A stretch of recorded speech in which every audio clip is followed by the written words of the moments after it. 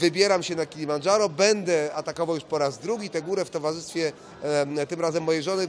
To jest taki nasz zabieg e, sportowy, ale jednocześnie też no, społeczny, dlatego chcemy zachęcić ludzi do aktywności, oczywiście nie mówimy tak ekstremalne jak Kilimandżaro, ale do zwrócenia uwagi na to, że razem można więcej, że wspierajmy się w przygotowaniach, e, mierzmy wysoko, to wcale nie musi być prawie 6000 metrów, ale e, w tym trudnym czasie, jaki mamy e, w tej chwili około e, pandemiczny, pandemiczny, powinniśmy zwrócić uwagę na to, że są jeszcze cele do zdobycia i że warto zadbać o swoje zdrowie, by e, te cele zdobywać. Ruszam na Kilimandżaro 26 lutego. E, Na razie dużo chodzimy, zrobimy zresztą ten atak na Kilimandżaro jako walking lovers i e, mamy zamiar to takie nasze zielone serduszko zatknąć na szczycie e, tej pięknej góry. E, Robimy dużo treningu ogólnorozwojowego, czyli tak zwany core ćwiczymy.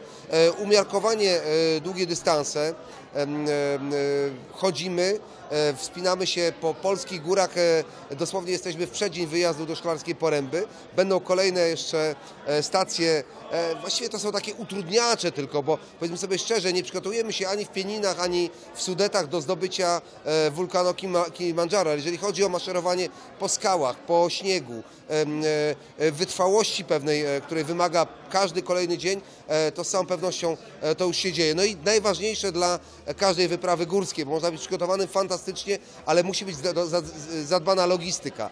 Każdy detal sprzętu musi być e, dokładnie przejrzany, sprawdzony, niektóre elementy zdublowane po to, żeby mieć e, rezerwę i dopiero wtedy, jak będziemy gotowi pod względem logistycznym, a fizycznym, to już się dobrze dzieje, e, naturalnie ruszamy i sięgamy to po to, co zamierzyliśmy sobie.